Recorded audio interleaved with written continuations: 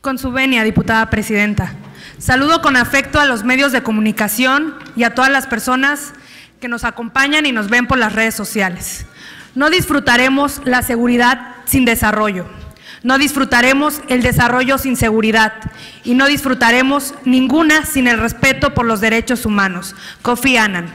El día de ayer fui testigo de un acto inhumano y Dalia Obando, de 57 años, que se dedica a vender calcetines para tener una fuente de ingreso y poder pagar sus medicinas, ya que es diabética, sufre del corazón y por si fuera poco, solo tiene un riñón, fue despojada de su mercancía de forma violenta, sufriendo empujones, jaloneos y amenazas por parte de un fiscal municipal.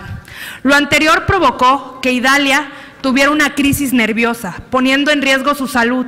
Afortunadamente evitamos una desgracia, ya que gracias al apoyo del personal del Congreso fue atendida por un paramédico de la Cruz Roja en estas instalaciones.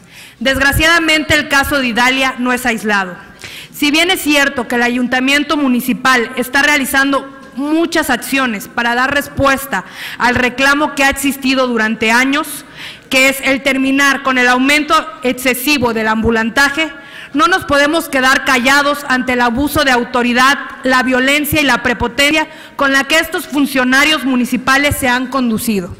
Reconozco la sensibilidad del presidente de Tuxtla Gutiérrez, quien al tener conocimiento de dicho acto se solidarizó con doña Idalia y se comprometió a velar por el buen desarrollo de las funciones de todas las y los servidores públicos municipales. Desde esta máxima tribuna pido respeto a los derechos humanos y a la dignidad de estas personas. Es inaudito que funcionarios públicos sigamos permitiendo estas malas prácticas que ponen en riesgo a mujeres, hombres y jóvenes que solo salen a ganarse el pan de cada día de forma honrada.